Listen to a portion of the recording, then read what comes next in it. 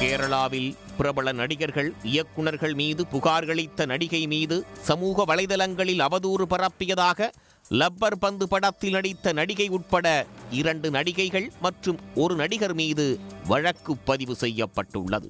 தன் மீது அவதூறு பரப்புவதாக நடிகை அளித்த புகாரில் நடவடிக்கை பாய்ந்ததன் பின்னணி என்று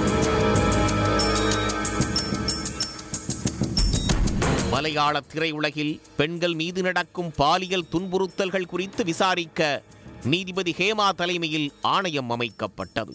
இந்த ஆணையம் இருநூற்று முப்பத்தி மூன்று பக்கங்கள் கொண்ட விரிவான அறிக்கையை தாக்கல் செய்தது. இந்த அறிக்கை வெளியாகி மலையாள திரையுலகை ஆட்டம் காண வைத்துள்ளது.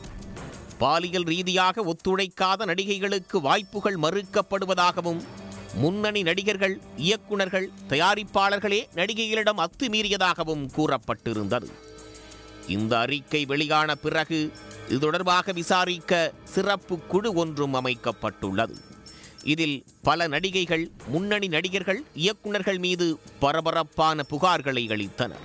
அவர்கள் அளித்த புகாரில் நடிகர்கள் ஜெயசூர்யா இடவேள பாபு மணியம்பிள்ளை ராஜு சித்திக் முகேஷ் இயக்குனர்கள் ரஞ்சித் துளசிதாஸ் உட்பட பலர் மீது வழக்கு பதிவு செய்யப்பட்டுள்ளது. இளம் நடிகர் நிவின் பாலி மீது நடிகை ஒருவர் அளித்த புகாரில் வழக்கு பதிவும் செய்யப்பட்டது. இந்நிலையில் நடிகை ஒருவர் நடிகர்கள் இடைவேள பாபு முகேஷ் மணியம்பிள்ளை ராஜு ஜெயசூர்யா ஜாபர் இடுக்கி இயக்குனர் பாலச்சந்திர மேனன் ஆகியோர் தன்னிடம் அத்துமீறியதாக புகார் அளித்தார். அவர் அளித்த புகாரில்தான் அவர்கள் மீது வழக்கு பதிவு செய்யப்பட்டது. இதனிடையே அந்த நடிகை மீது அவரது உறவினரான இளம்பெண் ஒருவர் புகார் அளித்தார் புகார் அளித்த நடிகையே அவர்களின் கூட்டாளிதான் என்றும் சிறுமியாக இருக்கும்போது சினிமா வாய்ப்புக்காக தன்னை அவர்களிடம் அட்ஜஸ்ட் செய்ய சொன்னதாகவும் கூறி பரபரப்பை கிளப்பியிருந்தார். இந்த நிலையில் ஆலுவாவைச் சேர்ந்த அந்த நடிகை நெடும்பச்சேரி போலீசில் புகார் ஒன்றை அளித்தார்.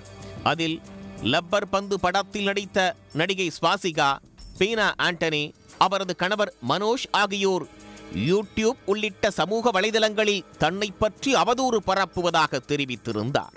இந்த புகாரின் பேரில் மூவர் மீதும் போலீசார் வழக்கு பதிவு செய்து விசாரணை நடத்தி வருகின்றனர். மலையாள திரையுலகில் நடிகைகள் மீதான பாலியல் அத்துமீறல் தொடர்பான சர்ச்சையில் புதிதாக மூவர் மீது வழக்கு பாய்ந்துள்ள சம்பவம் பரபரப்பை ஏற்படுத்தியுள்ளது. உடனுக்குடன் செய்திகளை தெரிந்து கொள்ள சன் நியூஸ் பெல்லைக்கான கிளிக் பண்ணுங்க.